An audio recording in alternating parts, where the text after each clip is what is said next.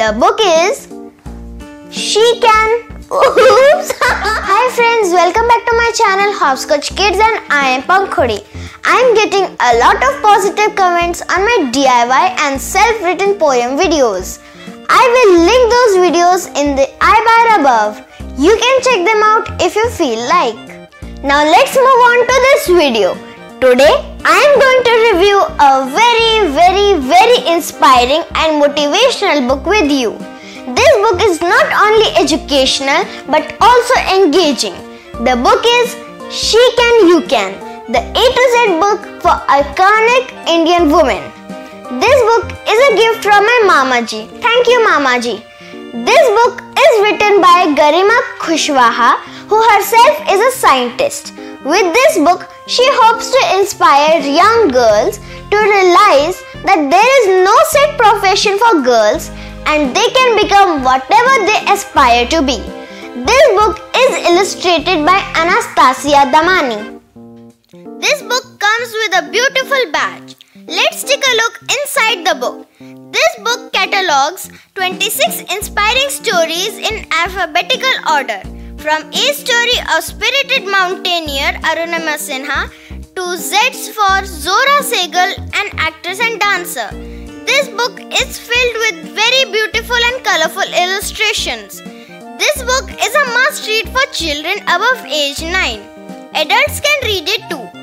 Kids of age 9 will find it a bit difficult to read as it contains some tough for which kids will need dictionary or help of any adult to understand it. This book includes a beautiful bookmark and a postcard at its very end. You can cut them and use them.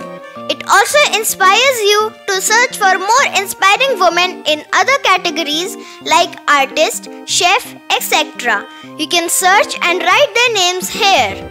This book also provides you a space to write biography of your role model or your future self, what you want to do in life.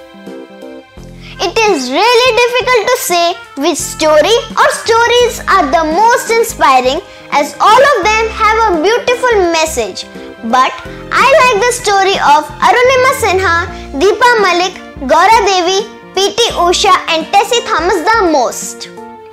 Like the story of Arunima Sinha, even after going through a very unfortunate encounter with muggers on a train in which she lost her leg, she conquered Mount Everest and won many awards.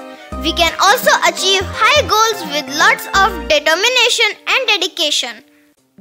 Next is the story of Deepa Malik. How her dreams crashed down when she was diagnosed with a tumor in her spinal column and when her surgical trauma left her paralyzed from waist down, she knew she had to be strong.